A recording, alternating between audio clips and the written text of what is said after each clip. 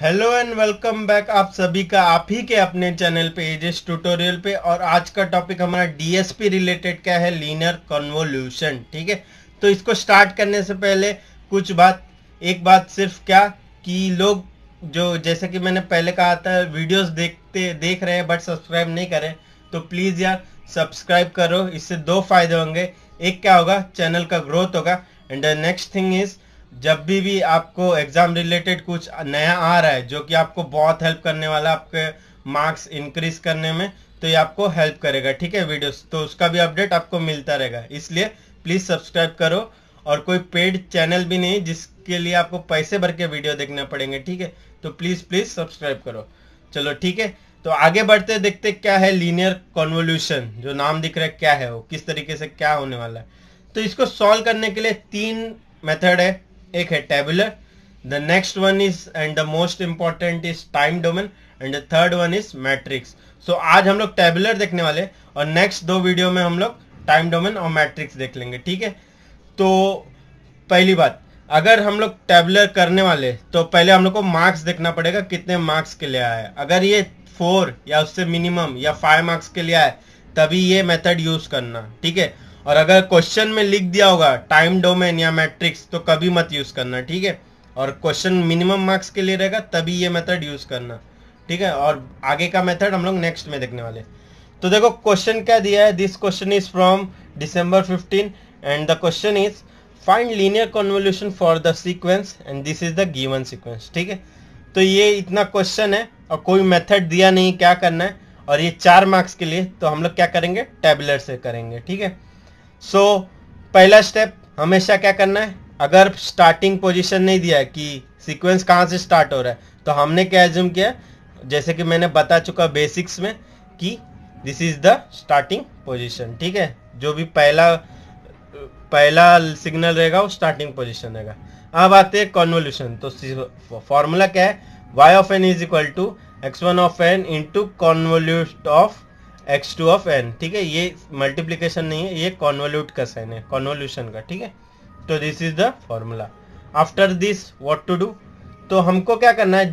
ये जो आंसर आने वाला है ना, इसका लेंथ पता नहीं। तो इसका लेंथ फाइंड करने के लिए हमको क्या करना पड़ेगा कि this length is equal to length of x one plus length of x two minus one ठीक है? तो ये फॉर्मूला है। तो आप डरना मत किया, इसका अगर फोर लेंथ और इसका टू है तो कुछ करना पड़ेगा। टेबुलर मेथड पे कुछ नहीं करना पड़ेगा। क्या करना पड़ेगा? दोनों का लेंथ देखना पड़ेगा। अगर टू रहता तो फोर प्लस टू होता, लेकिन यहाँ पे दोनों फोर है तो फोर प्लस फोर ठीक है? ज़रूरी नहीं कि दोनों का लेंथ सेम दिया हो। इस क्वेश्चन में दिया था। ठीक है? तो four plus four minus one और माइनस वन हमेशा रहेगा फॉर्मूला में। तो इसको करने के बाद क्या आ रहा है answer length is equal to seven मतलब जो आंसर आने वाला है, उसका लेंथ कितना होना? सेवन ये हम लोग को पता चल गया ठीक है? तो अब टेबुलर तो मैं पहले भी सिखा चुका, अभी भी देख लेते हैं हम लोग किस तरीके से करेंगे। तो ये तो बना दिया।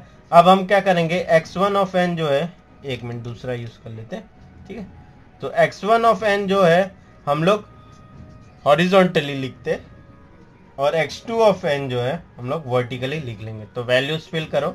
One two three four and this is one two one two yes ठीक है? तो आप लोग को दिख रहा है, यहाँ से मैंने वैल्यूज़ भर दिए। अब क्या करना है? मल्टीप्लीकेशन तो one into one one one two ज़ा टू वन थ्री ज़ा थ्री वन फोर ज़ा फोर सिमिलरली टू वन ज़ा टू फोर सिक्स एट इसी तरीके से सबका वैल्यू आएगा तो आप फिल करते जाओ कि ठीक है, इस तरीके से वैल्यू अब मैंने क्या कहा था कि डायगनल बना लेना है। ठीक है पेंसिल से बना लेना एग्ज़ाम में ताकि आपको कोई कन्फ्यूज़न ना हो, ठीक है? नहीं तो आपको कोई कन्फ्यूज़न हो जाएगी। अब आते हैं वाई ऑफ़ एन क्या आने वाला है हमारा, ठीक है? What will be the answer so one क्या करना है? आप ऐड डायगनली बना के फिर क्या करना है? ऐड करना है।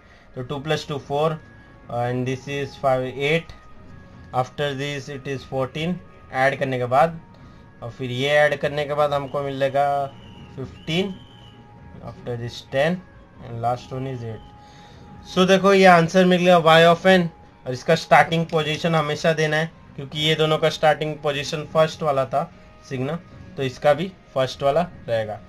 तो कुछ इस तरीके से टेबुलर मेथड का यूज़ करके हम लोग क्या सॉल्व करने वाले?